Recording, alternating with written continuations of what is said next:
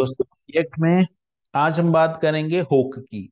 Hook क्यों ज़रूरी है और हुक को समझने के लिए हम पहले एक सिचुएशन क्रिएट करेंगे और फिर हम लोग देखेंगे कि हुक हमारी इस सिचुएशन में किस तरीके की हेल्प कर सकता है। मतलब हुक से हम लोग इस सिचुएशन को किस तरीके से स्टार्ट आउट कर सकते हैं। तो चलिए स्टार्ट करते हैं। आप चैनल को सब्सक्राइब कर लीजिए और वीडियो को लाइक कर दीजिए। तो सबसे पहले मैं क्या करता हूँ कि एक यहाँ पर ये टर्मिनल ओपन करते हैं और एक नया प्रोजेक्ट बनाते हैं जो कि हमारा हुक को कॉन्फ़िग करने के लिए होगा। तो हम लोग यहाँ पे जाते हैं और यहाँ पे हमको जो प्रोजेक्ट कॉन्फ़िग करने का कमांड है वो मिल जाएगा। तो मैं यहाँ गाइड पे चला जाता हूँ और यहाँ पर हमको ये कमांड यहाँ से हम लोग कर लेते हैं कॉपी ठीक है जी? इसको मैं यहाँ ले लेता हूँ। और इसको यहाँ ले लेता हूँ। ठीक है? इसको कुछ इस तरीके का कर देते हैं हम लोग ऐसे और इसको ऐसे कर देते हैं। ठीक है? यहाँ से इसको कॉपी करूँगा। बस यही कॉपी करना है मुझे। तो इसको बंद भी कर सकता हूँ क्योंकि इसका काम हो गया। यहाँ पर देखिए, आप एग्ज़ाम्पल के अंदर में गया और ये वाला कमांड मैंने रन किया। जैसे ही मैं रन करके इंटर करूँगा सिस्टम मुझसे पूछेगा कि कौन सा मेरे को आ, मतलब सिस्टम मेरे को पूछेगा टेम्पलेट तो मेरे को यहाँ पे रिएक्ट सेलेक्ट करना है। प्रोजेक्ट का नाम मुझे देना है और प्रोजेक्ट का नाम देने के बाद में मुझे तो प्रोजेक्ट का नाम मैं दे रहा हूँ यहाँ पे काउंटर क्योंकि हम लोग एक हुक को समझने वाले हैं और काउंटर काउंटर के बाद यहाँ मैं रिएक्ट सेलेक्ट करूँगा और यहाँ पर मैं जावास्क्रिप्ट सेलेक्ट करूँगा तो आप देख रहे हैं यहाँ पे काउंटर नाम का फोल्डर बन गया है। लेकिन अभी काम पूरा हुआ नहीं है हमको सीडी करके काउंटर के अंदर जाना है तो मैं लिखता हूँ सीडी और यहाँ काउंटर के अंदर गया और यहाँ पर मैं लिखूँगा npm npm इंस्टॉल ठीक है? Npm इंस्टॉल npm इंस्टॉल मैंने लिखा और npm इंस्टॉल लिखने के बाद में मुझे npm रन देव करना है तो ये एप्लीकेशन जो है वो रन हो जाएगी। थोड़ा सा टाइम लेगा। इन बिटवीन हम क्या करते हैं कि यहाँ पर हमारे पास में एक फोल्डर था जो हमने लास्ट वीडियो में यूज़ किया था, ये वाला। ये सेटिंग्स जो है, इसको कॉपी कर लेते हैं हम लोग, ठीक है? ये पूरा फोल्डर ही कॉपी कर लेते हैं इवन तो यहाँ से मैं कॉपी करता हूँ इसको, और जो नया फोल्डर बना है, इसके अंदर जाके इसको मैं कॉपी कर लेता हूँ। तो ये कॉपी हो गया यहाँ पर। तो इससे क्या है कि हमको कोड फॉर्मेटिंग में मदद मिल जाएगी, क्योंकि हम लोग एक ही सेटिंग यूज़ कर रहे हैं सारे प्रोजेक्ट में। तो यहाँ पर हमको जो है वो कोड फॉर्मेट में यहाँ पे मदद मिल जाएगी। तो अभी आप देखोगे कि ये प्रोजेक्ट जो है लगभग कॉन्फ़िग होने वाला है। उसके बाद में एनपीएम रन देव हम लोग यहाँ पर कर देंगे। तो एनपीएम रन देव करेंगे। ये प्रोजेक्ट पूरा कॉन्फ़िग हो जाएगा। उसके बाद में एनपीएम रन देव हम करते हैं। तो ये कॉन्फ़िग हो गया। अब यहाँ पर मैं लिखता हूँ एनपीएम फिर लिखता हूँ रन और फिर लिखता हूँ देव। वन सेकेंड यहाँ मुझे लिखना होगा तो मैं यहाँ लिखता हूँ एनपीएम रन देव। ठीक है? ये npm रन देव लिखा तो प्रोजेक्ट जो है वो यहाँ पर रन हो जाएगा, ठीक है? प्रोजेक्ट रन हो जाएगा। इतना तो यहाँ पर आप देखोगे तो प्रोजेक्ट रन हो जाएगा। यहाँ पे एक यूआरएल आएगा जिसपे प्रोजेक्ट चलेगा और वो प्रोजेक्ट वो जो है वो रन हो जाएगा। ठीक है जी? तो मैं यहाँ कंट्रोल की प्रेस करके इस लिंक को ओपन कर लेता हूँ। तो आप देखोगे ये लिंक यहाँ पर ओपन हो रही है और ये जो प्रोजेक्ट है वो यहाँ पर हमको ओपन होते दिख जाएगा।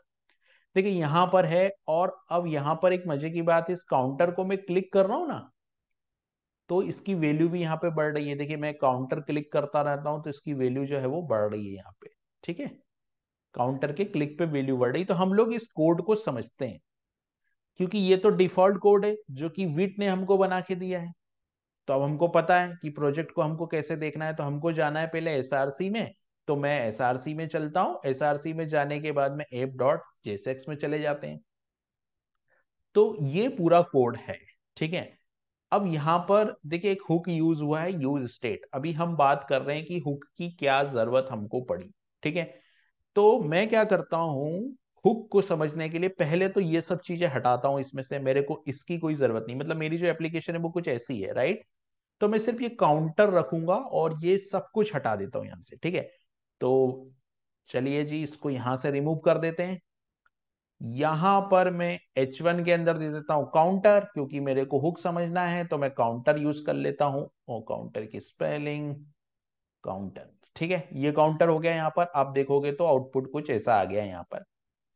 अब क्या करना बटन तो मेरे को चाहिए है। पैराग्राफ में सिंपल यहाँ पर काउंटर की वैल्यू डिस्प्ले कर देते हैं हम लोग।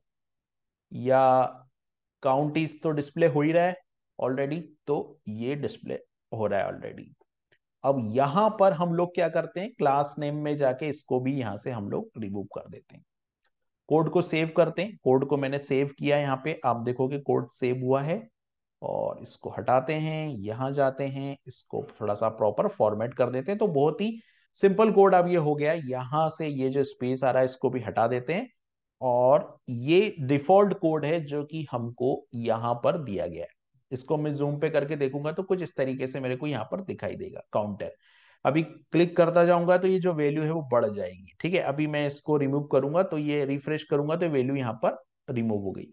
अब मान लो कि यहाँ पर मान लो एक पैराग्राफ और होता, ठीक है? ये एक ऐसा पैराग्राफ मान लेते हैं हम लोग, और सेम चीज़ काउंटर इस करके यहाँ पे काउंटर की वैल्यू में शो कर देता सिंपल तो देखिए दो दो काउंटर है अभी यहाँ क्लिक कर रहा हूँ, एक जगह, लेकिन दोनों जगह वैल्यू बढ़ रहा है। ये सिचुएशन ऐसी भी हो सकती थी कि दस काउंटर वैल्यू हो सकती थी यहाँ पे। तो अगर दस काउंटर वैल्यू होती तो दस जगह ये वैल्यू इंप्रूव होती। ऐसा हो सकता था ना कि दस दस जगह हमको इस काउंटर की वैल्यू यूज़ करना पड़े। ऐसा सिनारियो बन सकता है प्रोजेक्ट में। अब देखिए, ये तो डिफ़ॉल्ट है, इसमें हमने कुछ नहीं किया और ये यूज़ स्टेट एक हुक है है ना? और ये डिफ़ॉल्ट कोड हमको हमने जनरेट किया, वहाँ पर ये हमको यूज़ किया है तो अभी हम लोग क्या करते हैं, इसको कमेंट कर देते हैं कोड को, ठीक है? और यहाँ पर मैं एक नॉर्मल जावा स्क्रिप्ट वेरिएबल बनाता हूँ, जैसे मैं बना दिया मैंने लेट और लेट के बाद मैंने यहाँ पे बना दिया काउंटर सिंपल या काउंट काउंट बनाते चलिए काउंटर नहीं काउंट बनाते और इसकी वैल्यू डिफ़ॉल्ट वैल्यू मैंने दे दी फाइव सिंपल हम्म। अभी तो आएगी एरर प्रोजेक्ट में। या मैंने इसको वैल्यू दिया तो देखिए वैल्यू फाइव अभी कोई वैल्यू यहाँ बढ़ नहीं रही है। ठीक है जी, यहाँ ऑन क्लिक है तो ऑन क्लिक पे ये एक फ़ंक्शन है। ठीक है? तो ऑन क्लिक पे मैं क्या करता हूँ, जिस सेट काउंट वाला जो फ़ंक्शन है, जिसे सेट काउंट ये लिखा था ऑन क्लिक पे तो इन्होंने यहाँ एक एरो फ़ंक्शन बना दिया। तो हम लोग क्या करते हैं कि ये वाला जो कोड है, इसको मैं कमेंट कर देता हूँ यहाँ पे।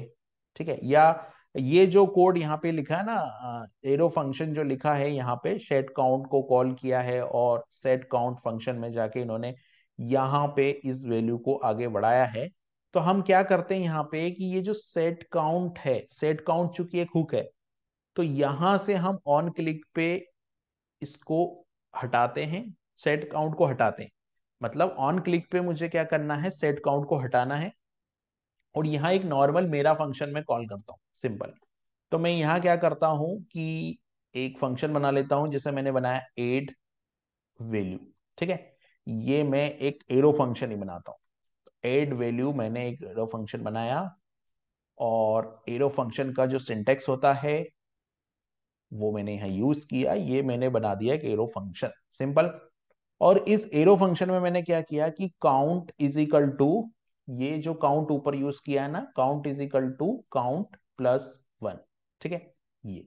काउंट प्लस वन, ठीक है? और काउंट प्लस वन मैंने यहाँ लिख दिया। अब चूँकि काउंट जो वैल्यू है, वो तो यहाँ पर अपडेट हो रही है तो यहाँ पर क्या करता हूँ मैं कि इस फ़ंक्शन को कॉल करता हूँ। ये ये डिफ़ॉल्ट हटा दिया मैंने, जो जो मुझे डिफ़ॉल्ट दिया गया था, रिएक्ट की तरफ़ से विट की तरफ़ से जो दिया गया था, वो मैंने हटा दिया। सिंपल तो अभी काउंट की जो वैल्यू मैंने इनिशलाइज की थी, वो आप देख रहे काउंट की वैल्यू फाइव से इनिशलाइज मैंने की थी। तो अभी देखे पहले वैल्यू बढ़ रही थी, अगर आपने डेमो पे ध्यान दिया हो तो पहले क्लिक कर रहे थे तो वैल्यू बढ़ रही, लेकिन आप क्लिक कर रहे हैं तो वैल्यू बढ़नी नहीं। अभी एक काम और करते हैं। चलिए, अब एक काम क्या करते हैं, यहाँ पे कंसोल लॉग करते हैं। तो कंसोल डॉट लॉग में जाता हूँ, यहाँ पर काउंट की वैल्यू को हम लोग डिस्प्ले कर लेते हैं, ठीक है? बटन के क्लिक पे फ़ंक्शन तो चलेगा, और फ़ंक्शन चलेगा तो काउंट की वैल्यू हमको दिखेगी कंसोल पे। तो मैं क्या करता हूँ, यहाँ पे जाता हूँ स्पेक्ट एलिमेंट में जाता हूँ, और स्पेक्ट एलिमेंट में जाने के बाद में कंसोल पे जाते अब देखिए, यहाँ जैसे ही मैंने क्लिक किया तो देखिए सिक्स हो गया, यहाँ सेवन हो गया एट हो गया, है ना? नाइन हो गया टेन हो गया इलेवन हो गया ट्वेल्व हो गया। देखिए वैल्यू बढ़ती जा रही है, लेकिन यहाँ वैल्यू स्टेबल है। तो अब आपको हुक की इंपोर्टेंस समझ में आई होगी क्योंकि इसके पहले हम जो हुक कर रहे थे, है ना? जैसे मैं अगर थोड़ी देर के लिए इस कोड को वापस पहले जैसा कर दूँ जैसे मैं यहाँ पे कंट्रोल जेड करता हूँ, कंट्रोल जेड करता हूँ, देखिए यहाँ पर मैंने वापस से कोड जैसे था वैसे कर दिया और ये जो कमेंट था इसको मैंने हटा दिया यहाँ। ठीक है? और यहाँ पर लेट काउंटर फाइव सिक्स तो काउंट दो बार आ गया तो इसको कमेंट करना पड़ेगा हमको, ठीक है? तो ये देखिए, अब आप देखिए रिएक्ट जो है वो पुराने स्टेट में आ गया पुराने स्टेट में आ गया कुछ एरर दिखा रहा है, देखते हैं। अभी काउंट कर रहे तो देखिए काउंट की वैल्यू यहाँ बढ़ रही तो आपको अंतर समझ में आया कि हमने हुक यूज़ किया तो वैल्यू तुरंत अपडेट हो रही है यूआई पे। लेकिन हम लोगों ने हुक यूज़ नहीं किया था नॉर्मल वैल्यू हमने यूज़ किया था तो क्या हो रहा था? वेरिएबल की वैल्यू तो बढ़ रही थी। वेरिएबल की वैल्यू तो बढ़ रही थी, लेकिन यहाँ पर अपडेट नहीं हो रही थी यूआई कंपोनेंट में। अब इस हुक का एडवांटेज क्या है? देखिए, हुक का एडवांटेज यहाँ पर यह है कि आपने एक बार ये वैल्यू सेट कर दी काउंट की तो आप जहाँ चाहो वहाँ पर इस काउंट को सिर्फ़ प्रिंट कर रहे हो वैल्यू ऑटोमेटिक प्रिंट हो रही है। और ये कौन कर रहा है ये काम? ये काम यूज़ स्टेट हुक कर रहा है। अभी हम लोग यूज़ स्टेट के बारे में पूरा डिटेल में देखेंगे और यूज़ स्टेट को किस तरीके से यूज़ करना है वो भी देखेंगे और इसके और भी एग्ज़ाम्पल हम लोग करेंगे। पर ये है कि देखिए अगर अब एक चीज़ हो रहा है कि अगर ये हुक नहीं होता तो क्या करते हैं हम लोग? हुक नहीं होता और यहाँ दोनों जगह हमको इस काउंटर वेरिएबल की वैल्यू को प्रिंट करना है। तो हम लोगों को कैसे करना होता? हम लोगों को यहाँ पे जावा स्क्रिप्ट से इस कंपोनेंट की वैल्यू लेनी पड़ती। कैसे? डॉक्यूमेंट डॉट क्यूरी सेलेक्टर और यहाँ पर आईडी पास करनी पड़ती या हमको लिखना पड़ता document dot get element by ID और आईडी पास करनी पड़ती और उसके बाद में उसकी वैल्यू को हमको अपडेट करना पड़ता। तो ये तो अभी दो कंपोनेंट थे। आपके प्रोजेक्ट में मान लीजिए पचास कंपोनेंट है तो आपको पचास जगह अपडेट करना पड़ता तो कितना लेंथी कोड हो जाता, है ना? तो इस प्रॉब्लम को सॉल्व करने के लिए यहाँ पे यूज़ स्टेट हुक आया है और यूज़ स्टेट की हेल्प से हम लोग सिर्फ़ यहाँ पर अपडेट करेंगे और रिएक्ट बाकी का सारा काम रिएक्ट अपने आप कर देगी। और जहाँ जहाँ भी हम लोग इस वेरिएबल को या इस फ़ंक्शन को, इस वेरिएबल को जहाँ जहाँ भी हम यूज़ करेंगे, वहाँ पर वैल्यू ऑटोमेटिक अपडेट हो जाएगी। ठीक है? अब इस समझते हैं कि यूज़ स्टेट को किस तरीके से यूज़ करना है। तो देखिए, ये नेम इंपोर्ट है नेम इंपोर्ट है। तो सबसे पहले आपको यहाँ पर लिखना है import use state from React आपको ये लाइन लिखनी है सबसे पहले, तभी आप यूज़ स्टेट का हुक का यूज़ कर पाओगे। उसके बाद में आपको यहाँ पर ये डिक्लेयर करना है। ये फ़ंक्शन का नाम कुछ भी हो सकता है। यहाँ पर इन्होंने सेट काउंट लिखा है। आप जो नेम चाहो वो यहाँ पर आप दे सकते हो। इस फ़ंक्शन का नाम आप यहाँ पे कुछ भी दे सकते हो। जैसे मैं एड वैल्यू देना चाहूँ तो एड वैल्यू भी मैं दे सकता हूँ। तो जैसे मैं एड वैल्यू दे देता हूँ, ठीक है? मैं यहाँ पर एड वैल्यू ही नाम दे देता हूँ। सिंपल तो मैंने यहाँ पर एड वैल्यू नाम दे दिया। इस फ़ंक्शन को यहाँ से मुझे ये एड वैल्यू तो ठीक है ठीक है? ये एड वैल्यू जो है वो फ़ंक्शन का नाम हो गया है और कैन नॉट री डिक्लेयर तो जो एड वैल्यू फ़ंक्शन यहाँ हो गया है, यहाँ पर हम लोगों ने एड वैल्यू फ़ंक्शन का जो नेम है वो दे दिया है।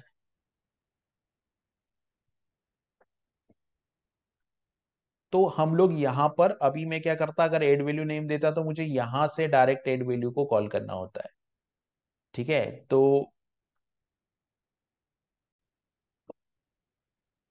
हम लोग यहाँ पर देखिए, इसने तो सेट काउंट किया था। अगर मैं एड वैल्यू करना चाहूँ तो मैं इस फ़ंक्शन का नाम यहाँ पे चेंज कर सकता हूँ तो मैंने यहाँ पे एड वैल्यू कर दिया। अब आप देखोगे, इस कोड को रन करके तो यहाँ पर काउंटर की वैल्यू जो है वो दोनों जगह बढ़ती हुई हमको दिखाई दे रही तो एक बार हम पूरा सिस्टम फिर से समझते हैं कि किस तरीके से यूज़ स्टेट हुक को यूज़ किया जाता है, ठीक है? तो आप क्या कीजिए, अगर आपको यूज़ स्टेट का यूज़ करना है तो आप सबसे पहले इंपोर्ट लिखेंगे, फिर यहाँ पर आपको यूज़ स्टेट लिखना है। जैसे कि मैंने बताया, ये एक नेम इंपोर्ट फ़ंक्शन है है ना? और उसके बाद में फ्रॉम रिएक्ट ये लाइन आपको लिखनी है, उसके बाद में आपको एक वेरिएबल डिक्लेयर करना है। तो यहाँ पर देखिए, मैंने काउंट नाम का एक वेरिएबल डिक्लेयर किया और ये एड वैल्यू यहाँ पर किया। अभी होता क्या है कि ये वाला जो फ़ंक्शन है ना, देखो, यहाँ पर क्या होता है कि ये एक वेरिएबल है और ये इसका सेटर बन जाता है, ठीक है? और यहाँ पर आप जो भी इसकी डेटा टाइप है वो पास कर सकते हैं। जैसे अभी नंबर है तो मैंने ज़ीरो से इनिशलाइज किया तो ये वैल्यू ज़ीरो पास हुई है। ठीक है, अब अगर मान लो मैं चाहता हूँ कि इसको मैं पाँच से इनिशलाइज कर दू, ठीक है तो मैं यहाँ पर जैसे पाँच कर देता हूँ, मैंने फाइव किया और यहाँ पर एप्लीकेशन में गया मैं और इसको मैंने वापस से रिफ्रेश किया तो देखिए पाँच वैल्यू आ गई यहाँ पे। अब ये पाँच से आगे बढ़ने लगेगा। तो ये आपको फ़ंक्शन को एक बार यहाँ डिक्लेयर कर देना है। डिक्लेयर करने के बाद में जब आप इस फ़ंक्शन को कॉल करोगे तो कुछ इस तरीके से यहाँ पे हम लोग ने कॉल कर दिया। तो यहाँ पे हमने क्या किया? एरो फ़ंक्शन को कॉल किया तो हमने यहाँ एरो फ़ंक्शन का सिंटेक्स यूज़ किया। यहाँ पर एड वैल्यू और काउंट में जाके काउंट प्लस वन तो देखिए काउंट प्लस वन करेंगे हम तो काउंट में कितनी वैल्यू जाएगी? छह और ये छह दोनों जगह प्रिंट होगा। तो इसका फ़ायदा क्या होगा? इसका फ़ायदा यहाँ पर ये होगा कि आपको डॉक्यूमेंट मतलब जावा स्क्रिप्ट से आपको कंपोनेंट अपडेट नहीं करना पड़ रहा है। आपने एक जगह काउंट की वैल्यू चेंज की और रिएक्ट ने आपको पूरा का पूरा जो पूरा का पूरा जो, जहाँ जहाँ आपने वैल्यू को यूज़ किया है रिएक्ट ने वहाँ जाके सारी वैल्यूज़ को क्या कर दिया, यहाँ पर अपडेट कर दिया। तो ये जो हुक है, उसकी रिक्वायरमेंट ये थी कि हुक ने आपका काम कितना इजी कर दिया। अब आपको सिर्फ़ इस फ़ंक्शन को, आपको सिर्फ़ इस फ़ंक्शन को कॉल करना है एक बार डिक्लेयर करने के बाद और आपका काउंटर वेरिएबल एक्सेसिबल है। आप जहाँ भी काउंटर वेरिएबल को यूज़ करोगे इस तरीके से, वहाँ पर आपको जो है काउंट की वैल्यू मिल जाएगी। तो ये था हमारा यूज़ स्टेट हुक का एग्ज़ाम्पल आगे हम और भी एग्ज़ाम्पल करेंगे जिसमें यूज़ स्टेट को हम लोग यहाँ पर यूज़ करेंगे।